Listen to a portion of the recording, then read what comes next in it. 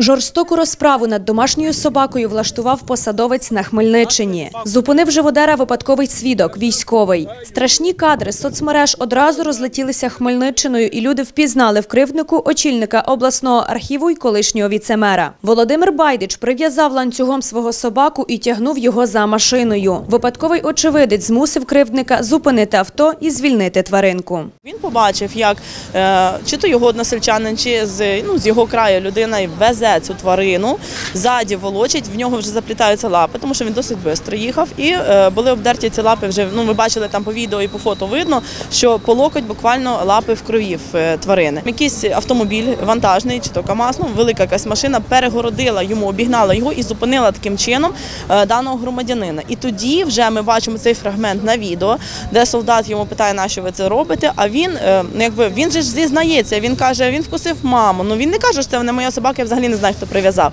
Закривавлена собака нікуди не тікала й агресії не проявляла. Слідчі уже провели низку процесуальних заходів. Зокрема, опитали чоловіка, про якого йшла мова. Він зазначив, що не мав умислу знущатися над твариною. Пояснив, що пес останнім часом поводився занадто агресивно. Двічі нападав на його матір, яку довелося госпіталізувати. Таким чином він просто хотів відвести собаку до лісу і там її залишити.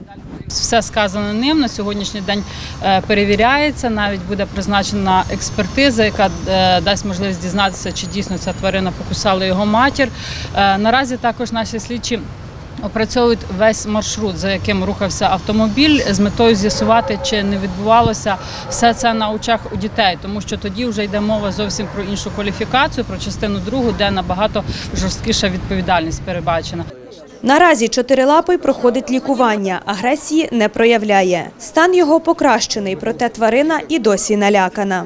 Собака дуже перелякана, вона ну, не довіряє он, людям. ну, ну, смотри, он Вона зашугана дуже. Тобто собаку, собаку явно били, тому що якісь різкі рухи собака присідає і ховається. Фізичної реабілітації ну тижня, два-три. Моральної реабілітації це залежить від того, в яку сім'ю вона попаде дана собака. Активісти та зоозахисники зібралися під стінами головного обласного управління поліції, аби написати колективну заяву. Переживають, що кривдник собаки Володимир Байдич, будучи посадовцем, може уникнути покарання. Дуже часто такі люди на таких машинах не попадають туди, куди треба їм, на- де їм місце.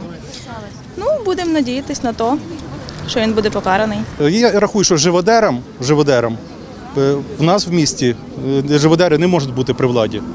Натомість тимчасовий очільник обласної адміністрації зазначає, що Володимир Байдич, хоч і вчинив не по-людськи, обов'язки керівника архіву виконує бездоганно. Як посадовець, як е, е, керівник е, архіву державного, він своєю роботою справлявся непогано.